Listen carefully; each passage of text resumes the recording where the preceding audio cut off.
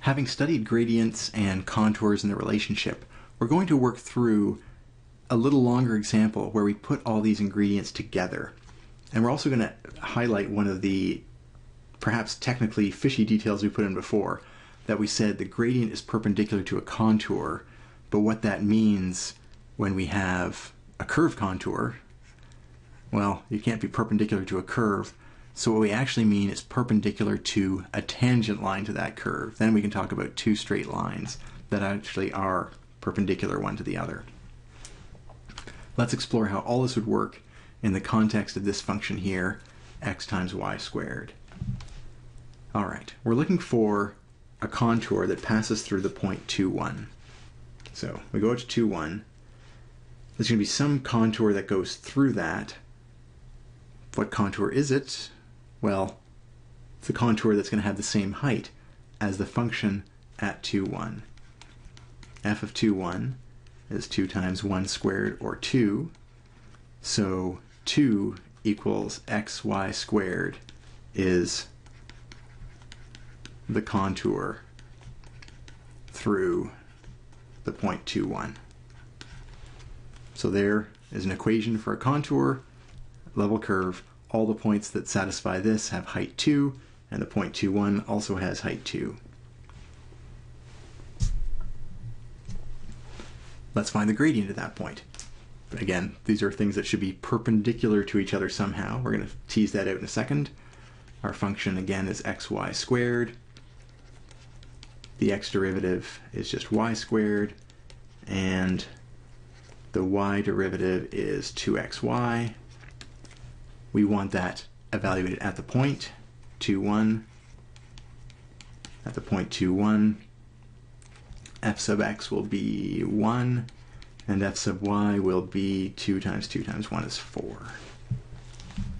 Okay, we got some pieces here. So what we have here is we've added a vector to our diagram at the point 2, 1.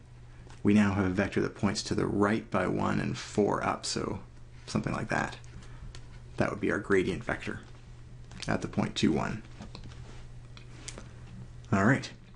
Now let's find an equation for the tangent line. Okay, notice we've changed dimensions here a little bit. We have a contour, which was 2 equals xy squared. That's some kind of curve in the plane. What we want to find is the tangent line at this point. So imagine some graph. We might get this wrong for the moment, but there's some graph, and we're going to try to find the tangent line to that. Well, this is a flashback to the fall term, but you don't know how to do this. We're going to need the y versus x slope, so straight fall term calculation here. We need the dy versus dx slope. For this particular function, well, it's not a function actually because you have a y squared, it's a relation. Uh, we're going to need to do, how do I get dy dx out of this? Implicit derivatives we need an implicit derivative. We're going to take the regular x derivative of the 2, and we're going to take the regular x derivative of the xy squared. Remember, implicit derivatives take the derivative of both sides, and that's going to give us 0. We need a product rule here, 1 times y squared, and now y is a function of x, so this is not a partial. This takes a bit of brain wrapping, but we're talking about a curve in the plane, and so we can talk about x and then the x derivative of y, which would be 2y dy dx.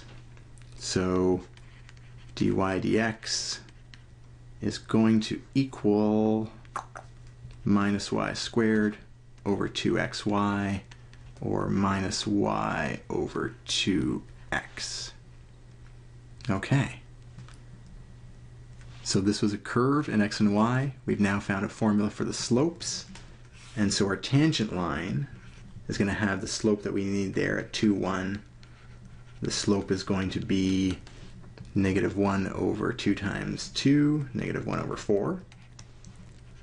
So our tangent line is L of x is, back to one dimension, slope times x minus 2 plus the y point, which was 1. There we go. A point, or a line rather, through the point 2, 1 with slope negative 1 quarter. That's actually pretty close there. So probably looks something like that. Take a while to absorb what happened there because that is something that is a flashback to earlier material. It's something that helps draw these diagrams, but it also helps either confuse or clarify what we're talking about when we're talking about different derivatives. Let's take a look at how all these pieces would fit together. We're at the point 2, 1. We found the gradient vector was 1, 4. 1, 4. That's our gradient vector.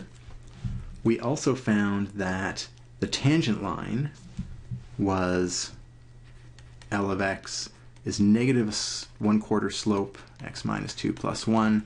So it passes through this point and has slope negative 1 quarter. So down 1 every 4 we go across. And probably about there. And last but not least, the actual curve itself. That was 2 equals xy squared we could try to rewrite that uh, in terms of y, 2 over x, and so y is equal to square root of 2 over x. And what that would look like is one of those usual asymptote things with some scaling and stuff, but it would look something like this kind of curve here. And it would be tangent to the tangent line, of course, and then probably something like that we could plug in some points and find that out in a little more detail. But this would be our curve, this would be our tangent line, and the most important thing is that these two things here, 1 over 4 up or 4 over 1 down, these things here are going to be perpendicular to one another, just as we predicted. But more specifically, the tangent line to this curve is going to be perpendicular to the gradient that we found. Here's a more detailed view of the contour diagram. It has the contour of height 2 shown, as well as the other points. And again, if we draw our gradient vector, it'll go up to 3, 5 here. There we go. That's our gradient vector. And you ask yourself again, out of all the directions that we could move in from this point, which direction would take us uphill the fastest for short little steps? Well, we want to get to the four contour as quickly as possible.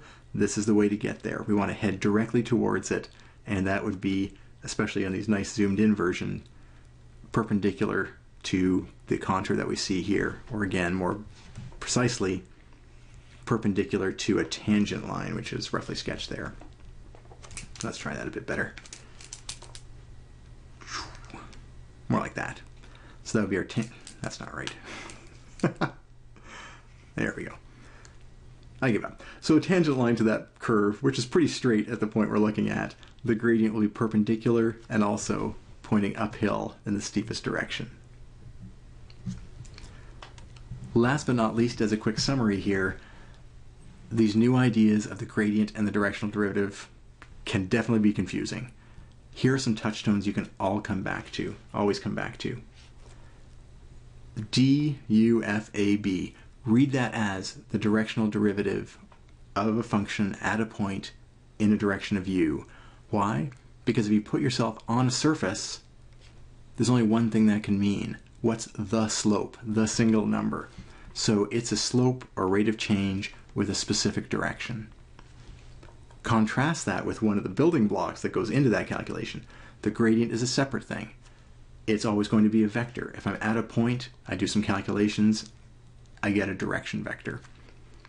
That direction has all those nice properties we talked about. It's the direction of maximum increase of our function, and its length tells you how steep the surface would be in that at that point if you were moved in the direction of the gradient. But the gradient is a vector because it's a direction. Okay, what direction would I go in to go the fastest uphill? That's what the gradient tells us. So just be as clear as possible when you're studying about what these two things are, what they mean, and how to calculate them. they're used.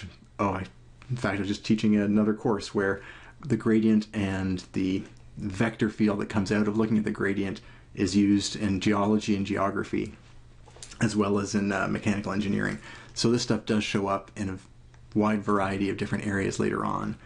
It behooves you to try to get them as clear as possible at this stage. It'll help you as we move through the last few weeks of the course.